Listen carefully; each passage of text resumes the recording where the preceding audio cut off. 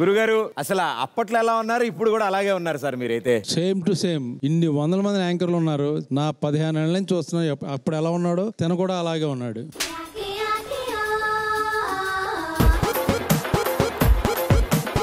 కానీ పెళ్ళి కాలేదు మరి.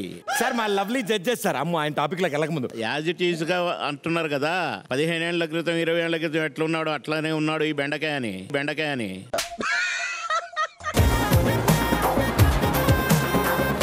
ఆ, అలా అని కాదు సార్. అంటే ఆయన పదిహేను ఏళ్ళ క్రితం ఎలా ఉన్నారు ఇప్పుడు అలాగే ఉన్నారు అంటున్నా ఆ పెళ్ళి అయ్యి పెళ్ళి కాకుండా నువ్వు అలాగే ఉన్నావుగా. అంటే నాకు నాకు ఒకటే పెళ్ళయిందండి. మరి మనోడికి ఆ ఒకటి కూడా అవలేదని తిడుతున్నారు ఆయన. పెళ్ళి కాకుండా ఆయన అన్నది ఏంటి అర్థం కావట్లే? పెళ్ళి కాకుండా దొండకాయ బాబు మోహన్ గారు నా గుండెకాయ.